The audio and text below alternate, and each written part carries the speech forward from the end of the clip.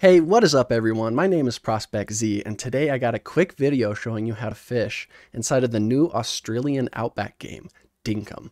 Let's get right into it.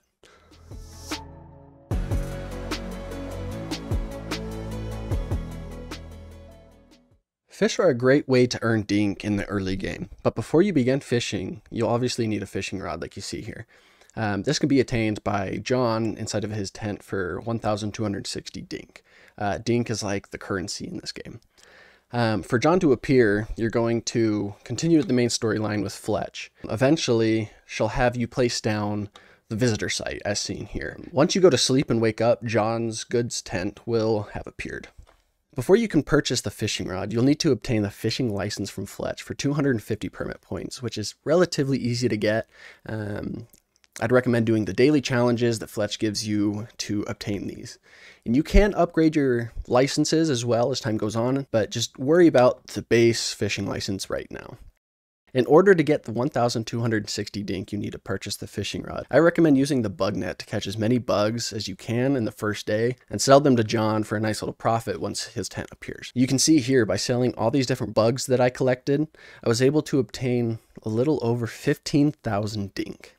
After obtaining the fishing rod, you'll want to run over to the nearest river. To cast the fishing rod, you'll have to hold the left mouse button. The length of how long you hold will determine how far you cast the line. You'll see the bobber start to move up and down as a fish comes closer to it, but you're going to want to wait until the bobber goes fully under the water like you see here. You may be wondering what this little red bar in the top right corner is. As you can see, when you hold left click while the fish is running, the red meter will start to go down. Let the meter get all the way to the bottom, you'll lose the fish. So be careful. Don't hold the left click while the fish runs. The fish can be tricky sometimes and turn unexpectedly, but don't worry.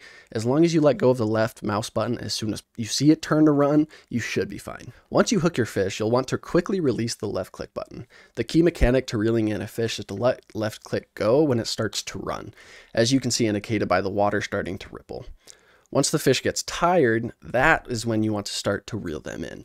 But be careful as the fish can regain its energy and start to run away at any point. You'll battle the fish like this a few times until you eventually reel it in. But remember, the bigger the fish, the harder it will be to catch. Once you have captured your first fish, it's basically just rinse and repeat. Um, it may take you a few tries to get correctly, but fishing in Dinkum is a great way to earn Dink in the early stages of the game. As you can see here, I sold one fish for nearly 2,000 Dink. If you guys have enjoyed this video or found it helpful, please hit that like button as it greatly helps out the channel, and check out my other Dinkum videos. If you'd like to see any other Dinkum video, let me know in the description down below. Have a great one, guys. Peace.